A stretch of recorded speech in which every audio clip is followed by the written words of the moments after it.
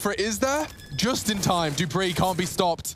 And the round goes Oh. on. dupreeh just in the nick of time gets it down. Trades keep going. Device now finding one with the scout puts Xyp9x to clutch up. The Minister has found the headshot necessary. allu going down. He's expecting the swing up ramp and cool calm.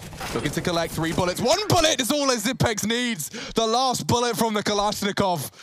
And he lives up to the prefix. The clutch Minister has done it again. Huge stuff there from Xyp9x. Look what they needed that, man. They really needed that. He's been out of the game for some time, had his debut back with the team over there in Blast and continuing to clutch up here in Beijing. One bullet to spare. Whew. I know we've been segregated, but if you want to continue a bit of a storyline,